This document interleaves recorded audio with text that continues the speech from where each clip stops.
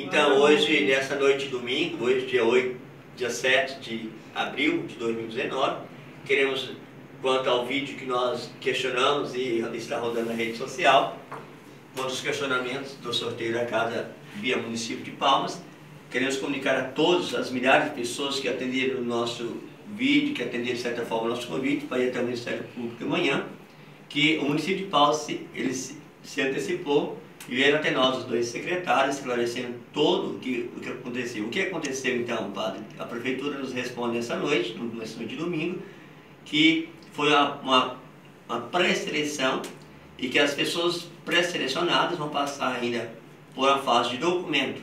E na hora da documentação, naturalmente, as pessoas as quais citamos, as quais foram pré-selecionadas, vão ser excluídas do programa.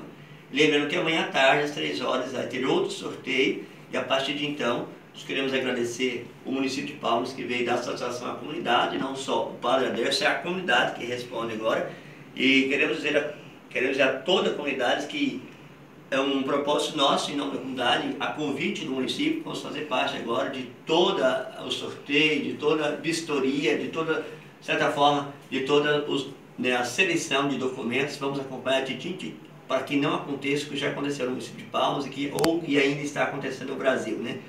Lembrando então que tira então a necessidade de ir até o Ministério Público amanhã, conforme tínhamos combinado, porque realmente, diante do documento, diante do programa, ficou muito bem esclarecido, então não há necessidade de ir até o Ministério Público para, na verdade, nós ir lá reivindicar o esclarecimento. Então já foi esclarecido e não há necessidade de ir ao Ministério Público amanhã, mas sim às três horas no sorteio. Nós iremos acompanhar lá na escola Tamandaré. Né? Então, muito obrigado mesmo à prefeitura, muito obrigado a milhares de pessoas, a vários secretários, a autoridades que ligaram, que não tentaram, não conseguiram falar com a gente diante né, que eu estava fora de área, diante da mista, mas muito obrigado a todos que acreditaram e acreditam no nosso trabalho. Boa noite a todos.